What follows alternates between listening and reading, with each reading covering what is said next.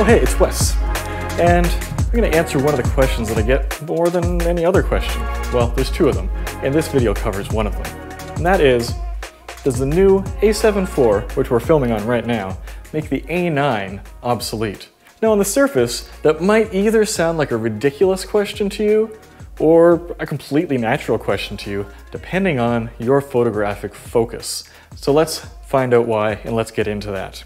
So here we are, right now, we have a Sony A9 on the table, got a Sony a7 IV right in front of us.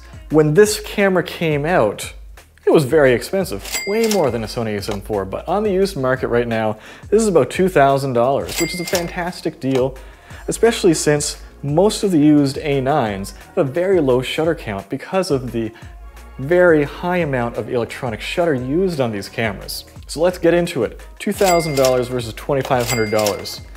So here are the pluses of the A7 IV. What might make the A9 obsolete? Number one, more intelligent autofocus system. The system on the A9, in some ways, it feels a little bit snappier and responsive, but overall, the autofocus system on the A7 IV is more intelligent. You have bird autofocus, you have video eye autofocus, you just have a more advanced autofocus system that is more aware of what's going on. Additionally, you have a higher megapixel count. You're looking at 33 megapixels on the A7 IV versus just 24 megapixels on the A9.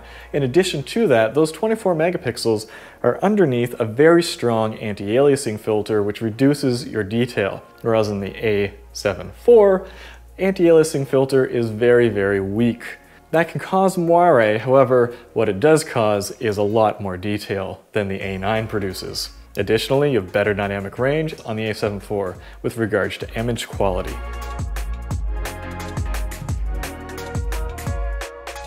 Additionally, the original A9 only has one UHS 2 card slot. There is a second slot, but it's only UHS 1 slash memory card duo. Pretty much the worst decision of this body. What a disaster that that is what they did. Whereas on the A7 IV, you have dual UHS 2 plus one of them is a CF Express Type A card. So that both card slots enormously upgraded from the ones in the A9. It buffers out so much faster if you're shooting in redundant RAW. Those files just disappear onto the cards, whereas in the A9, if you're redundant shooting, you're buffering out at the speed of the slowest card slot and it is slow, which is a shame, even though you have a huge buffer. Additionally, we have just like with the A7 III, much better video codecs in the A7 IV. You've got S-Log 3, 10-bit, HS, which is uh, HEVC. You've got high bitrate codecs, all-I codecs. It's all in there. A9, none of that. Just straight, flat Rec 709 footage. It can look great, but not as versatile by any means. Additionally, A7 IV, 4K 60, this is limited to 4K 30. Connectivity. A7 IV kills it. It has a 10 gigabit per second USB-C port capable of USB power delivery charging. That thing will go all day. Whereas the A9 has a USB micro B port, 480 megabits per second, significantly slower than 10 gigabits per second.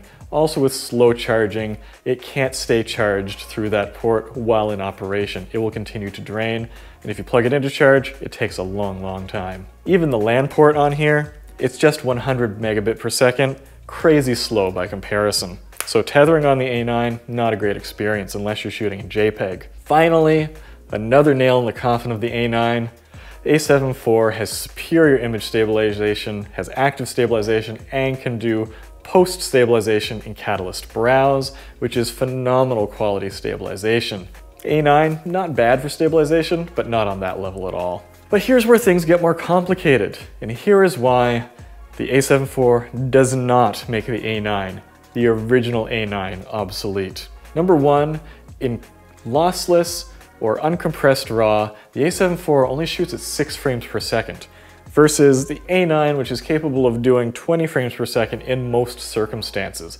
That is an enormous difference. Number two, A7 IV has worse battery life than the A9. That's kind of surprising, but that A7 IV heats up like crazy and that kills the battery really fast. And then next up, the A9 has a complete magnesium body. This is all metal except for just a few bits and pieces, whereas the A7 IV is plastic on the back end. That might not make a big difference to you, but it might make a big difference to other people. However, the A7 IV is a little bit better weather sealed. Well, I couldn't have planned that. The A7 IV just overheated. Thanks. Something that has never happened to my A9.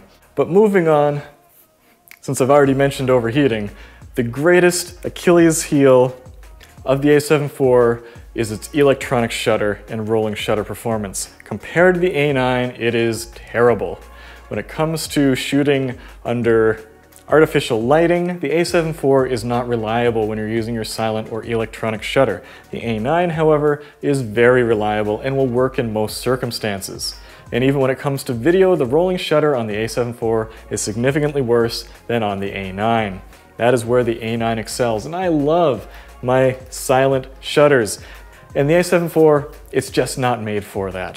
So the end conclusion is no, the A7 IV does not make the A9 obsolete. The A9 is still a camera designed for shooting speed and it does a lot of things still that the brand new, much, much newer A7 IV cannot do. If you have any thoughts about this, let me know down in the comments below and we'll talk about that. But until next time, let's go take some photos.